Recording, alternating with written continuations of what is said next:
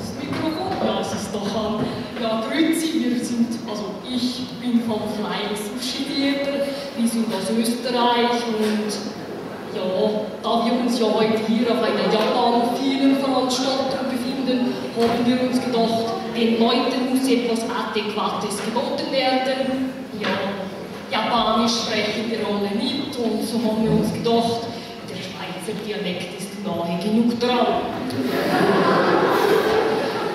Lange Rede, kurzer Sinn. Wir werden morgen am Sonntag hier auf dieser Bühne ein One Piece-Stück performen, recht frei nach den Märchen der Gebrüder Grimm. Hey, was soll das heißen? Wir halten uns doch überhaupt nicht an die Vorlage. Ja, wie ich bereits gesagt habe, recht frei nach den Märchen der Gebrüder Grimm. Märchen? So ein Kinderkram. Wir wollen weit kultivierteres Publikum ansprechen. Unsere Darbietung braucht Tragik, Emotionen, Spannung, Verrat, Intrigen, Leidenschaft und Tanz. Es wird ein Ballett, ja! Warte, was? Nein, ganz bestimmt nicht. Doch, aber, aber, meine Herren, wir müssen doch nicht streiten. Das macht ja auch vor dem Publikum keinen ganz besonders guten Eindruck.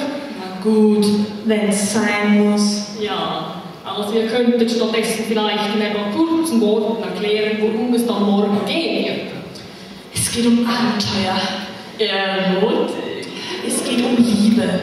Zwischen Männern und Frauen. Und was ist mit Transgender, Intergender und Transvestiten? Ja, meinetwegen, du darfst auch mitmachen. Ja, genau so. So ähnlich oder vielleicht auch ganz anderes wird es dann morgen morgen um 12.30 Uhr vielleicht bei unserem Spektakel auch jemanden im Publikum hätten. Also hoffnungsvoll bis morgen.